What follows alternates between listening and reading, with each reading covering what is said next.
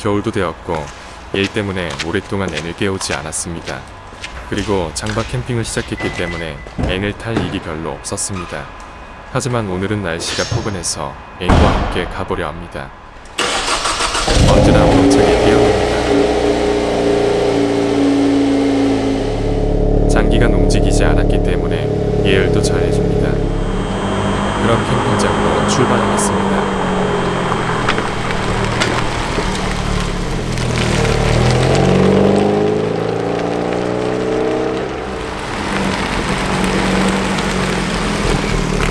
급할 일이 없으니 천천히 가겠습니다. 엔진은 normal, 배기음은 스포츠 플러스 그리고 크루즈 모드. 조금 따분합니다.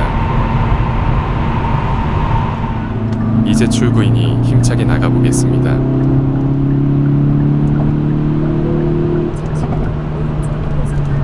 캠핑장은 홍천 팔봉산 근처에 위치하고 있습니다. 올해 처음으로 장박 캠핑을 해보는데 세팅해야 하는 장비들이 너무 많네요. 무려 두 달간의 세팅을 거쳐 1월에 들어서야 편안히 즐기고 있습니다.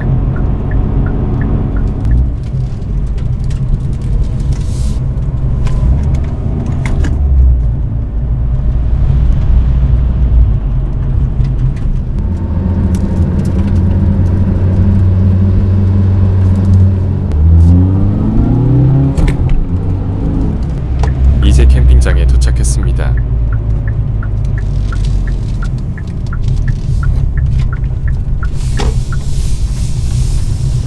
장박 캠핑이라도 항상 발열 체크와 방문 명단을 작성해야 합니다. 이용 중인 캠핑장은 크리스마 넘치는 사장님이 계셔서 말을 잘 들어야 합니다. 그럼 저의 사이트로 가보겠습니다.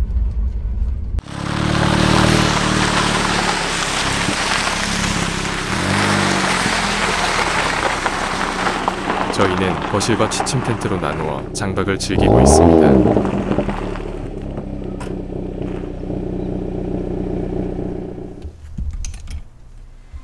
잠깐의 세팅을 마치고 혼자만의 시간을 가져봅니다. 심심해서 불멍도 때려보고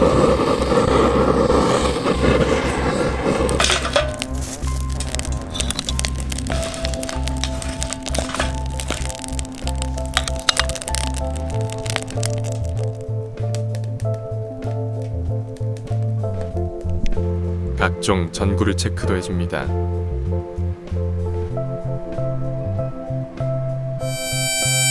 텐트를 따뜻하게 해줄 난로도 틀고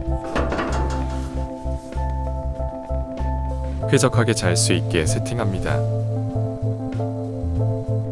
우여곡절 끝에 두 달 만에 세팅을 끝낸 모습입니다.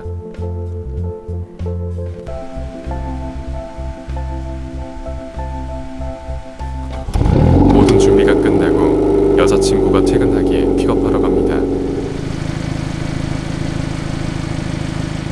프리랜서로 일하는 저는 시간이 많아 낮에 와도 되지만 여친은 퇴근 후 전철을 타고 캠핑장으로 옵니다. 여유 부리다 도착 시간에 늦을 것 같아 조금 빨리 가봅니다. 다행히 늦지 않았습니다. 늦은 저녁에 도착하는지라 놀진 못하고 아침 늦음막히 눈을 뜹니다. 그리고 제일 좋아하는 커피를 마십니다.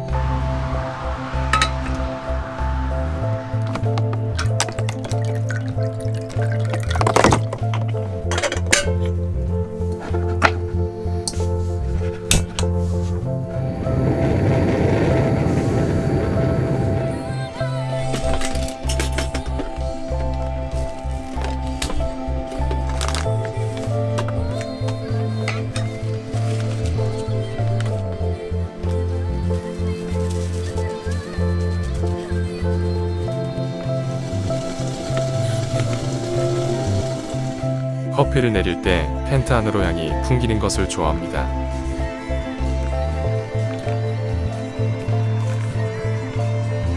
있고요. 다구역파로 우비 쪽으로는 1km 구간이 밀립니다. 반대 방향은 서운에서 성대까지 5km 구간 지하철역에서 사온 호두 과자도 같이 먹어봅니다. 호두 과자를 구우면 텐트 안이 역에서 나는 빵 향기가 납니다.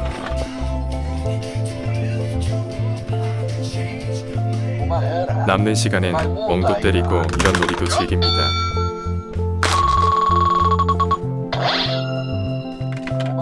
핑거 게임이 재밌긴 한데 너무 시끄러워 낮에만 잠깐 합니다.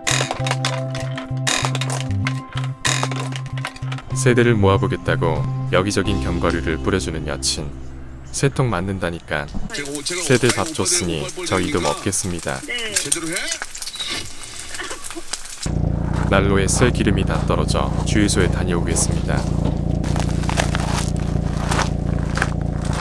돌아오는 길에 보이는 이 강이 홍천강인데 지난주 까분다고 코란도 스포츠로 들어갔다가 빠져서 보험사의 도움을 좀 받았습니다. 사륜이 답은 아니더군요. 취미인 캠핑과 업무의 특성상 overlanding 차량에 관심이 생겼는데 재밌어 보여 이 녀석으로 따라해봤지만 역시 상황에 맞는 타이어도 아닌 상태로 혼자서 까불면 안 된다는 것을 몸소 체험했습니다.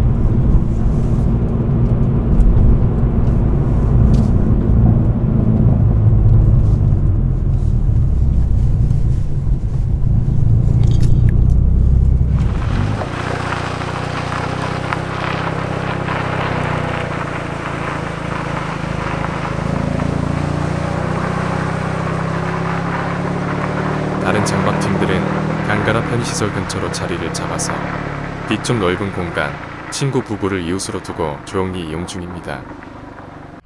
오늘 하루도 이렇게 조용히 마무리됩니다. 여친이 견과류를 뿌려둔 덕분인지 아침부터 새들이 찾아왔습니다. 이번 캠핑은 일찍 정리하고 집으로 가봅니다.